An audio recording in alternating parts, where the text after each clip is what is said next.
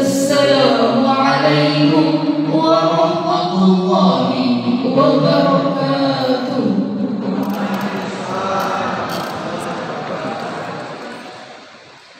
إن الحمد لله نحمده ونستعينه ونعوذ بالله من شرور أنفسنا ومن سيئات أعمالنا من يهده الله فلا مضل له ومن يضلله فلا هادي له أشهد أن لا إله إلا الله وأشهد أن محمدا عبده ورسوله أما بعد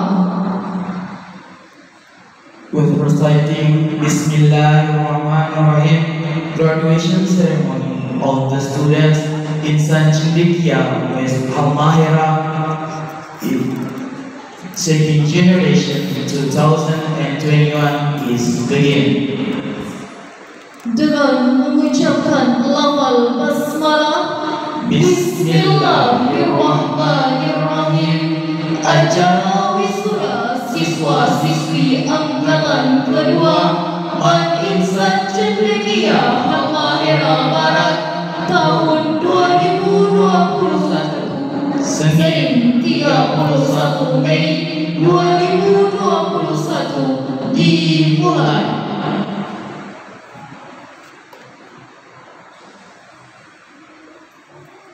Ketua Senat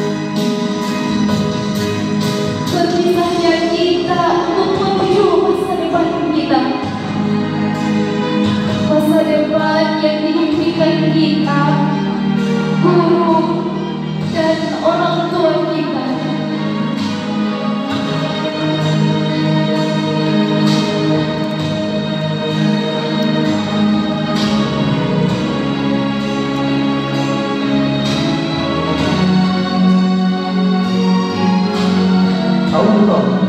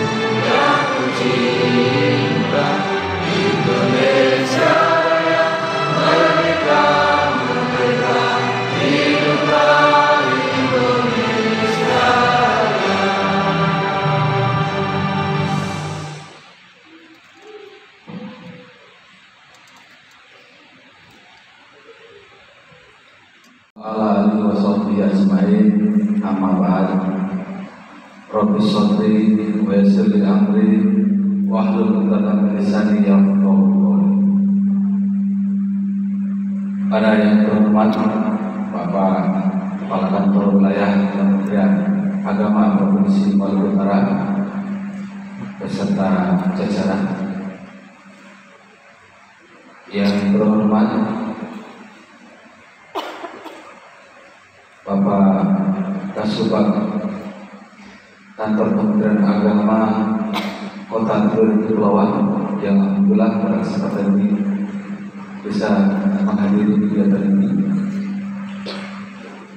Bapak Ibu Kepala Madrasah di wilayah Kabupaten Tangerang Barat maupun Timur Kepulauan yang hadir pada kesempatan ini. Bapak Ibu orang tua yang saya hormati, Bapak Ibu Dewan Guru dan seluruh sivitas manusia cendekia Tangerang Barat, wabil khusus beserta wisudawan yang berbahagia. Pertama-tama marilah kita panjatkan puji dan syukur kita kehadirat Allah Subhanahu wa taala karena atas limpahan rahmat, karunia serta hidayahnya sehingga pada kesempatan pagi ini kita masih diberikan keafiatan sehingga dapat menghadiri kegiatan yang merupakan kebanggaan dan kebahagiaan kita bersama yaitu prosesi wisuda angkatan kedua Manisah Cendekia Barat. Salawat dan salam tak lupa pernah kita aturkan pada junjungan kita Nabi besar Muhammad Rasulullah Sallallahu Alaihi Wasallam. Bapak Ibu yang saya hormati, pendidikan adalah sebuah keharusan bagi penyiapan generasi bangsa. Oleh karena itu, keberadaan sebuah lembaga pendidikan sudah sangat perlu untuk terus dievaluasi, diperbaiki, dan disesuaikan dengan perubahan dan tuntutan zaman agar pendidikan itu bisa benar-benar menjadi agen perubahan dalam menyiapkan masa depan generasi muda. Begitu banyak jumlah madrasah atau lembaga pendidikan yang ada di daerah kita, bahkan di seluruh Indonesia. Namun, sudahkah madrasah atau sekolah telah memberikan layanan prima dan mampu menjawab kebutuhan masyarakat kekinian dan menyikapi kemajuan teknologi yang hebat dalam upaya menghadapi revolusi industri